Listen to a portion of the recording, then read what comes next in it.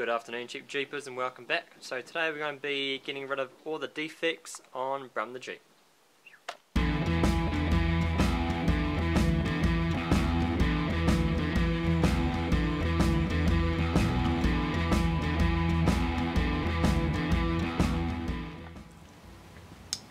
So, over the past week I've had the windscreen replaced on Brum the Jeep and I've replaced the tail light. Now the only thing we need to do today is uh, fit the mud flaps.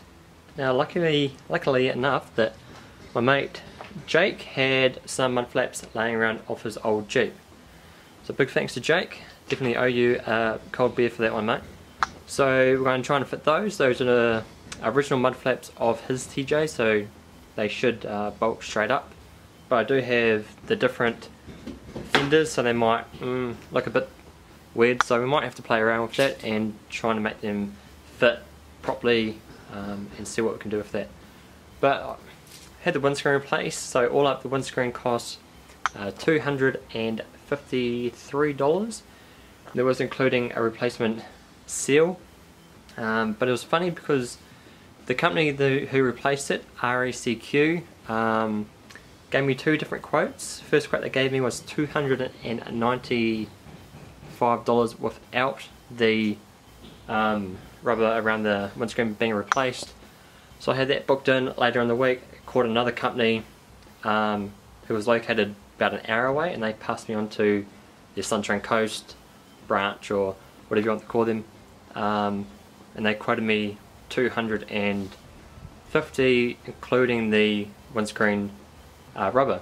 So they came out um, and I was waiting a week for them to turn up and RACQ turned up. So the same people me 290 came out and did it for 250 so I don't know how they sort their pricing out but uh, they should really get it sorted before they actually start quoting um, the same thing but for a completely different price. So $250 all up. Um, they came out to my work and did it so that was really convenient.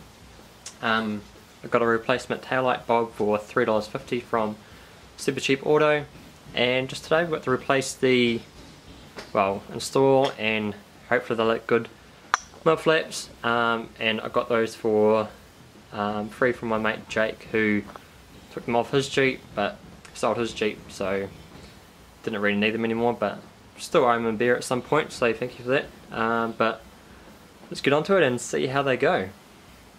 So because these are factory um, mud flaps it should be as easy as just going like one, two, three. That didn't fucking work. Alright, let's try that again. One, two, three, and... And they're on. Um, so, with the original flaps, they... Mud, mud flaps. They bolted through this hole here. But with the aftermarket guards, I just drilled through the flap um, and bolted it um, through the bolt holes through the guards and it should bolt up there. But um, there's a big little gap there that I'm not really too fussed on. So, not too happy with that. And they don't look... I mean, they look okay, but they don't look overly that great. Mm. But on the flaps, mud flaps, should stop calling them flaps, got like a little extended bit on them that says. Um, so what I might do is I might pull those off and just bolt, um, kind of like tuck it under like in that, and bolt it to the like little up there and maybe bolt it to the inside of plastic behind that. So let's do, I'll do this side as a practice and if that works out alright, I'll show you guys how I did it on the opposite side.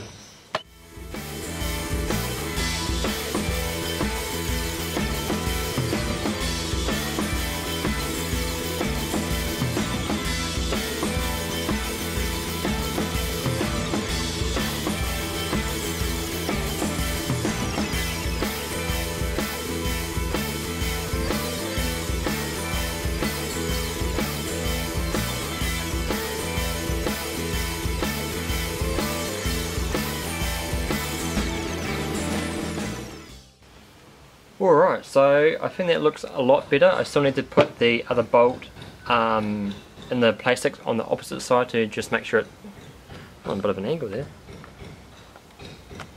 That's better. Still need to put the bolt on the opposite side to make sure everything's tight.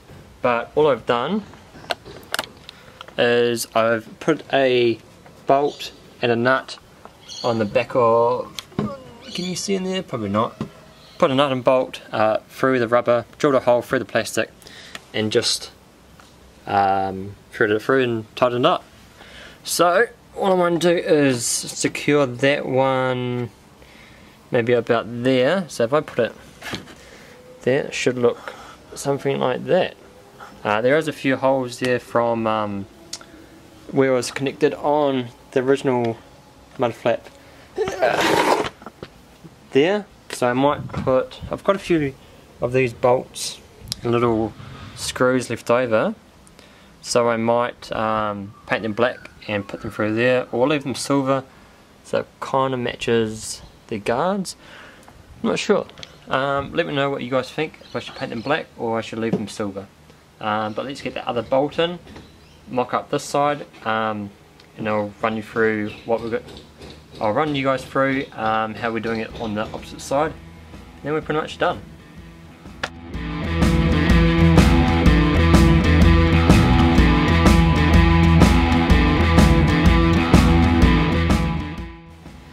So I'm just about to drill into the plastic here to be able to put the bolt through. So whenever you're drilling through plastic or something that you can't really see what's on the other side, just make sure you have a quick look. Um, make sure there's no like, like in there, make sure there's no, like there's a wire there for maybe the tail light or something. Make sure there's no fuel lines um, or wires behind there that you might drill into because um, you don't want to damage something else and end up having to fix that. But I've had to, I've jacked the Jeep up. It's waving you at us right now. Um, just so I can get that drill in there um, and just drill for the plastic and that. And that should sit about there. And that should be enough to hold it in place. Because um, it's only like light plastic, it's only supposed to stop dirt and whatever and keep the coppers happy. But drill through that place a bolt through there, uh, through the flap and there, and screw it on um, from inside there, and it should be good to go. So that's done. Once again, drill through the um, plastic lip there, and through the plastics on that side. Now it's pretty strong. It's going to be strong enough to um, drive down the road and do some forward driving. That's pretty much done. Um, now I'm just going to take them off give them a clean up and probably put the bolts through there and that's pretty much it.